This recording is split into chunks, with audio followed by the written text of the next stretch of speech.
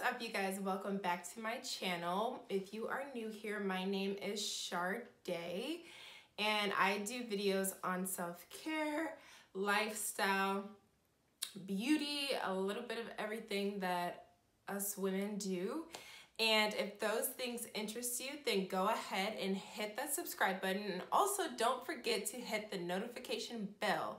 That will notify you when I post new videos and that way you can keep up with all of the things I have to show you guys. So without further ado, let's get into today's video. So today I wanted to talk about skincare and I want to do a disclaimer about how I'm not an esthetician, I'm not a dermatologist, I am not a skincare professional. These are only products that I have been using personally and these are products that have worked for my skin. So with that being said, I also want to disclaim that none of these products are medical grade products.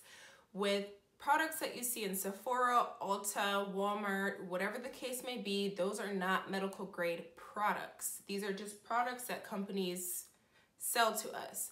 Um, if you want medical grade products, you're going to have to go to a dermatologist, an esthetician, spas, and things like that if um, you have deeper skin concerns. So let's get into some of the little topics that I want to talk about before we get into these products. So for starters, I have dry skin. And so a lot of the products that I use are moisturizing and therefore um, to combat dryness, flakiness, things like that. Those are the products that work the best for me. So the first step that you want to do when you're looking for skincare products is to recognize what kind of skin type do you have. Do you have oily skin? Do you have dry skin? Do you have problematic acne prone skin? Do you have normal skin? Th these things are important when you're looking for the perfect skincare routine for yourself. I also wanted to get into things that you could be doing that could also be aiding in skin problems and skin concerns that we really don't think about.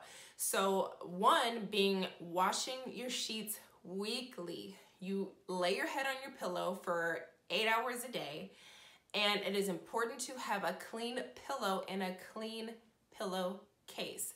That is one thing that a lot of people miss. Another thing that I want to talk about is water and diet. So it is very important to drink water, not only for the rest of your organs in your body, but also for your skin. Your skin is one of the organs that receives moisture last since your important organs need their nourishment first. So it is very important to be very hydrated for your skin to receive that moisture and also diet your gut health your gut health the bacteria that is in your gut um, the foods that you're putting inside your body they do come out so it is important to have a diet rich in nutrients and also a diet that works best for you and that your body likes so those are just some of the little things and tips and tricks that a lot of people seem to miss. I know that we always look for some kind of miracle product and a product that's gonna just solve all of our problems, but it really does come from the inside out and it really is important to not neglect what we really should be doing for a healthy body and healthy skin overall. So I know that I talked about knowing your skin type.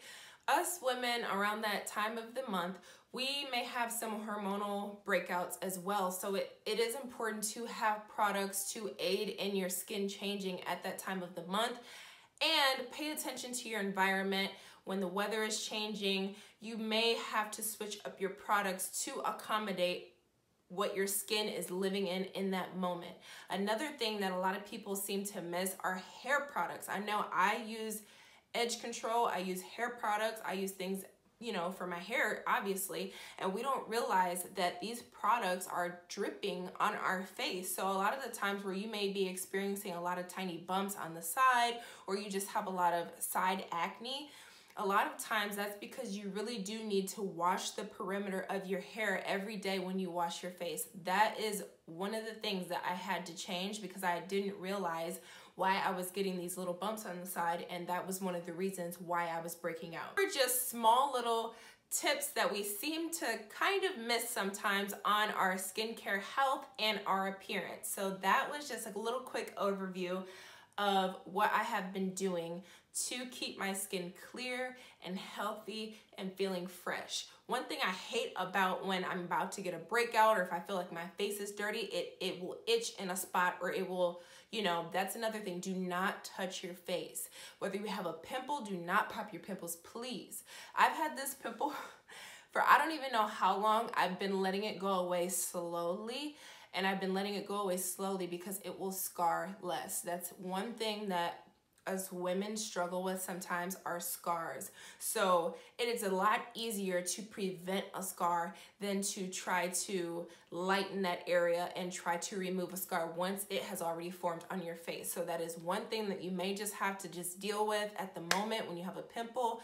Either use a um, drying agent um, or just let it be, moisturize your face as much as you can appropriately and let your skin do its thing. Our skin regenerates every 27, 28 days. So a lot of times when you use products that may penetrate penetrate deeply into your skin, it will take a while to really see if that product is working. So one thing that I do not recommend is changing your whole skincare routine all at once. That is one of the mistakes that I did and my skin was suffering.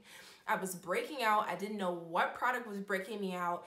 That's the thing. You want to incorporate products into your skincare routine slowly. So if you want to change up your face wash, okay, change up your face wash, but keep everything else the same. That way you can tell, oh, okay, this face wash is breaking me out. Let me not use it anymore. And vice versa with every other product that you may be going through it.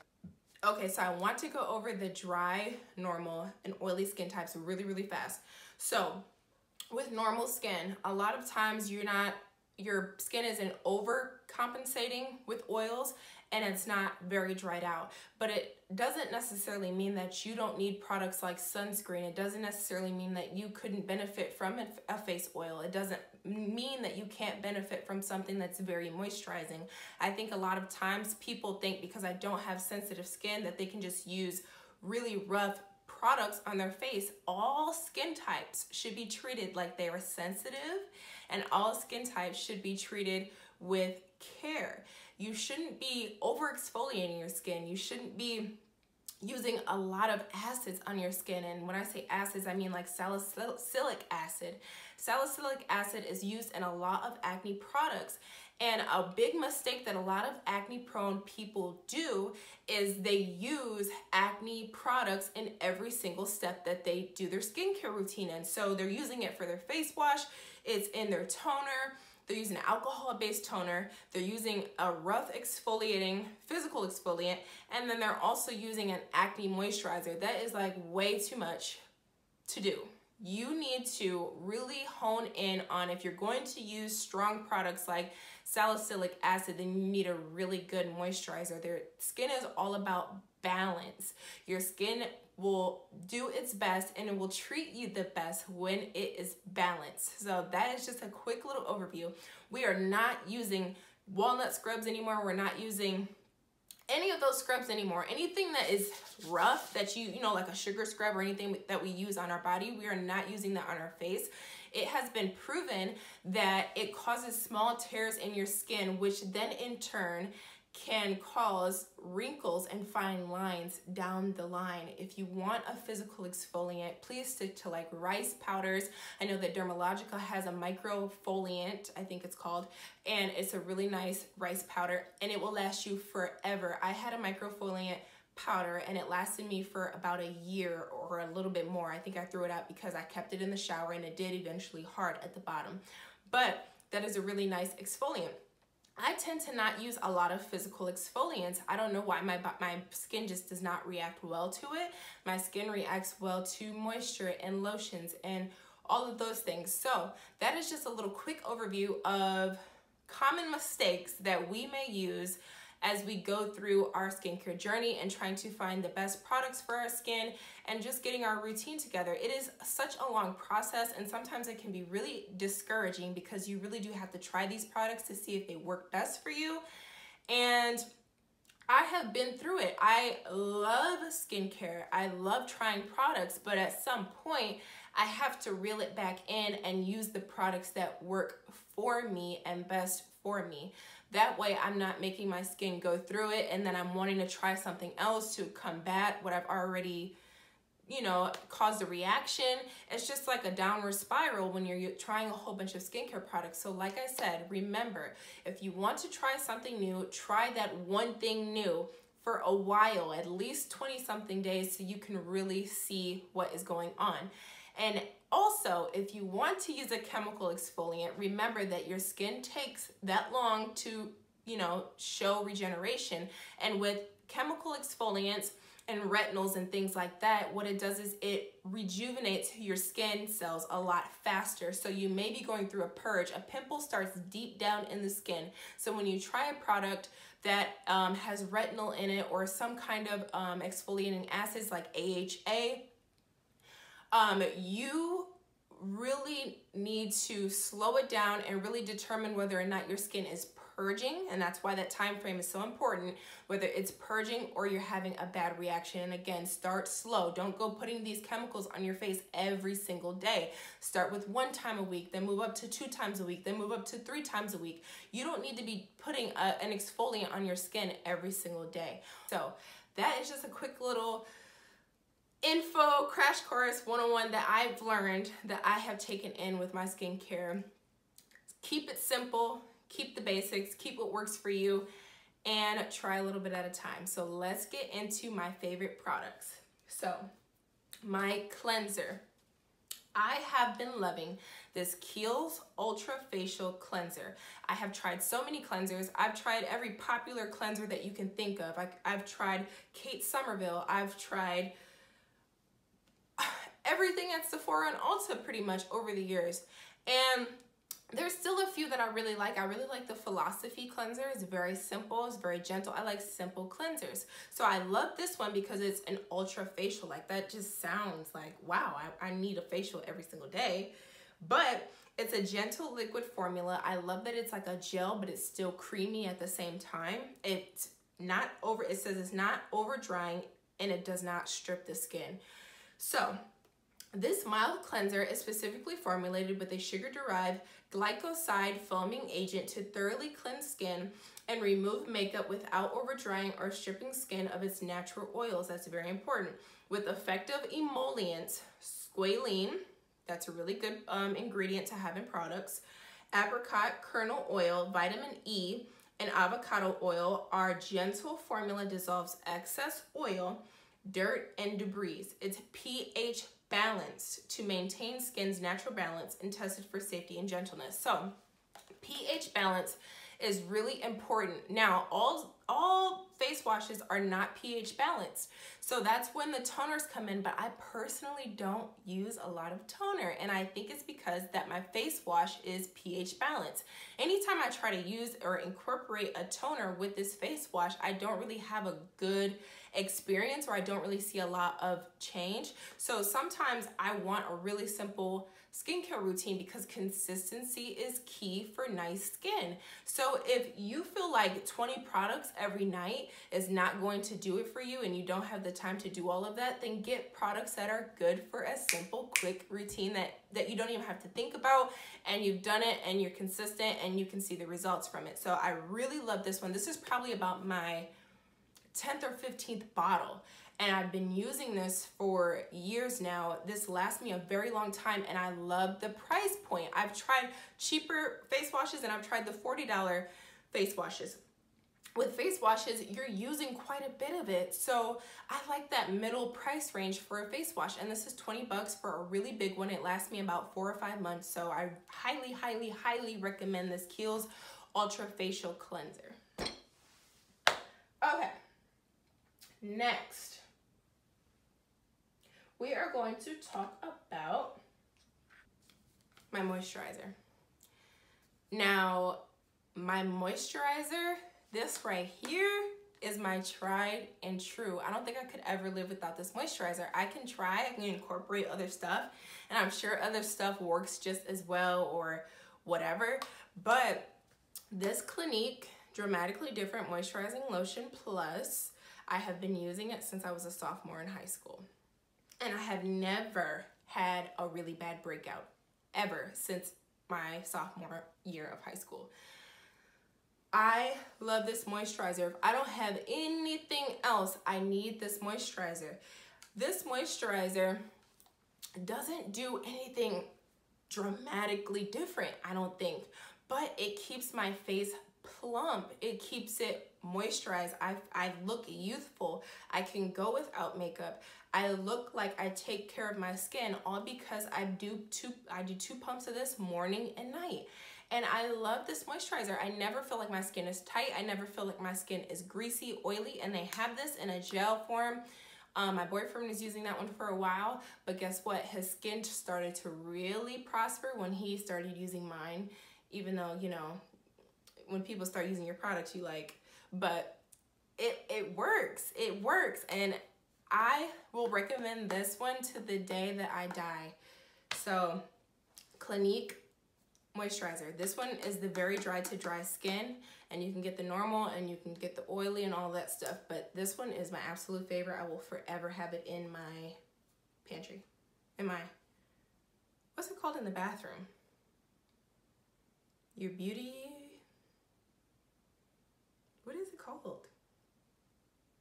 I don't even know, girl. Get this. Okay, so now we're gonna go into the ad the added little stuff that isn't necessarily detrimental to my skincare routine, but it definitely has improved it. These two, honestly, I could wash my face, moisturize, and be good. But when I want to do a little something extra, if I notice that my skin needs a little bit of extra care, the weather is changing, it has been changing, it's getting colder, these products I have been loving. So to start, I want to start with this Laneige Water Sleeping Mask. This really surprised me. And it surprised me because of the price point, the quality of the product, and the way that it feels. So what it is, it's kind of like a gel consistency. I believe this is a Japanese brand and they're very big on like spa-like products, very big on, um, no, I think Korean. They're very, very big on um, like 20 step skincare routine. Like that's how you get that glass skin. But this product, this is literally all you need and you need to dap, dap, dap and it rubs in so beautifully and it feels kind of like water. But what it does, what it does is it it's a sleeping mask, so it adds moisture. And then it even says one of the benefits is purifying and moisture. So I really like that purifying aspect to it. So while you're sleeping, this is helping to keep your skin nice and clean and add that added moisture and you really do look more youthful in the morning. So I really love this. I know some people even use it as an eye mask, but this one is really good. And it's at Sephora, but it's only about 20 bucks, I think. And if you know anything about skincare, you know that that is a really great price point. So I really recommend that. Okay, so next, let's get into some treatments. So I have been loving this Sleeping Night Oil by Sun Sunday Riley. Now, when you're looking into retinols, serums, different kind of oils, that's when the price point is going to get a little bit more expensive. Um, and that's with any price range, any store that you get it from. That's when it starts to kind of increase because this is the stuff that companies put a lot of money and research into because this is what really is going to penetrate your skin. So I love this because this will you will really see a difference overnight. I kid you not. So it's actually blue and this is a, um, a retinol oil. And what retinol is, it's used for anti-aging and it helps cell regeneration. So that skin purging that I was talking about when you just you don't know where your breakouts are coming from. One minute you clear the breakout and then here comes another one. It's really good to get a product like this to where you can just bring all the breakouts out at once and then you can treat them on the surface. A lot of products are only surface based products. So you're treating the pimples as they come. You're treating the pimples as they're coming, but you're not treating deep down into the skin. So what I've really been loving about this is that it gives me a beautiful glow morning. It doesn't matter if I put it on in the morning. You shouldn't put it on in the morning because of sun sensitivity. But when I put it on at night, I wake up with a beautiful glow. And that is another thing about the sun. When you're getting into chemical exfoliants such as AHA, such as retinol, such as um, retinoids, you really want to be careful about the sun because you are exposing your skin to more harmful rays because you're really shaving away those top protective layers to let the products penetrate a little bit deeper. So it's very important to wear sunscreen if you do have to wear or use one of the products in the daytime. So about this product, I'm sorry, I keep I keep going off on a tangent, but this stuff is really important to know. But this Luna works throughout the night to deliver visibly more youthful looking, luminous, even toned skin in the morning. Trans retinoic acid ester complex, complex reduces the appearance of pores and wrinkles while visibly improving the signs of premature aging, fine lines, uneven texture, age spots, dryness, and dullness. Balanced with blue tansy and German chamomile essential oils, both rich and soothing, blue azulene, visible redness, and the signs of sensitivity are neutralized for a calm, even tone complex clinically proven to improve fine lines, radiance, and skin smoothness in four weeks. So they add that blue tansy in this specific product because retinol makes your skin a little bit sensitive. So when you start to use anti-aging products, it's really important to take it slow because these products really take your skin to build a resistance to so they can keep working. I think I this makes it better for sensitive skin, but still when I first, that first day I woke up and my skin was looking, I'm like, oh, I need this product because I started with a sample, mind you. I was like, I need this product and it was expensive. So I'm like, dang, this product is amazing. So then when I got it, I was using it like every day because I'm like, this product is like a miracle product. But then I started to break out just a little bit on the sides of my face only because I didn't take it slow. This is still a retinol. Like you just can't, just use it every day just off a bat and I was using it in the daytime and was out in the sun and yeah no I did my research don't do that use it at night and use it slowly maybe one time a week or twice a week and your skin will look absolutely gorgeous okay. So I bought that with a set. And this is the high dose retinoid serum by Sunday Riley. This is a plus. This is even stronger than that one. And I'm still working on that bottle so I'm I'm gonna let you guys know how I feel about this once my skin builds up that strong resistance to retinols and retinoids. I will let you guys know how this works. But I'm glad I have it in my little arsenal. Okay so we are coming to an end to this skincare routine again I like to keep it simple I like to keep it minimal I like to stay consistent and I like products that work so I want to talk about this, the Ordinary Caffeine Solution. So this is kind of new to my routine. And I got this because a lot of people were saying for under eye puffiness and under eye um, darkness. They were saying that this works really well for it because it has that caffeine in it to brighten it. But I do want to say that if you're not getting, drinking enough water, you're not getting enough sleep, you're not doing the things that you need to be doing, you're going to look tired and you're going to add to the darkness under your eyes. So make sure you do that first and then incorporate and enhance yourself with these products. So um, I will let you guys know, but I feel like my under eyes aren't as dark as they once were. I'm not sure if it was this or if it's just the products I've been using, but I think consistency really does help. Now, if you want to really get rid of the big wrinkles under your eyes, that may take Botox. I'm just gonna be honest with you guys. Um, I've done a lot of research and tried to look at products that would take that away and pretty much everybody says Botox is a pretty much only thing that can take away the lines under your eyes. But fine lines, you can work on that with creams and little stuff like this. Lastly, I want to talk about this Mario Badescu spray. And this is the only product that I have that has a little bit of fragrance in it, which is like a no-no in skincare. Sorry, but this product I love. I spray on after every single skincare I do. I spray on in the middle of the day. I spray on in the mornings when I get up. I spray this product on and I really do think that it adds that luminous glow to my skin and I love the calming products of it. So this one is my favorite. This has, they have the rose one, they have the orange one, they have the, the green aloe one, but the lavender one is the best one in my opinion because it's very calming. It has aloe, chamomile, and lavender. It replenishes the skin with an infusion of calming botanicals and lavender essential water. The facial mist delivers a soothing boost of hydration and antioxidant vitamin C, combats skin aging, free radicals, living, leaving the skin balanced and bright. I love this. Uh, everybody pretty much knows about this. It's affordable, it's amazing. It really does add to your skincare and gives you that luminous glow to where you feel comfortable without wearing makeup, without, you know, just being a little cutie with, you know, no makeup. Like that's that's the vibe that I want on a day-to-day -day basis and I really do love this product.